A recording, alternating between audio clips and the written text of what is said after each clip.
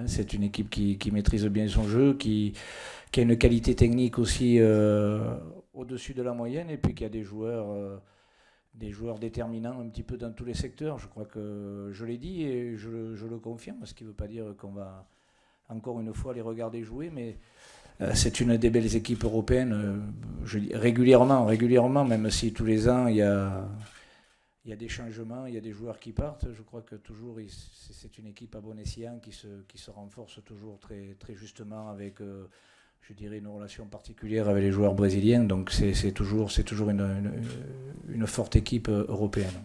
Il, fallait s'en persuader. Euh, peut-être que sur l'ensemble, et encore, c'est pas, pas une certitude, l'Europa League est peut-être quelque chose qui nous convient le mieux. Quand on voit tout ce qu'il a, toutes les artilleries qu'il y a en Champions League, c'est très compliqué.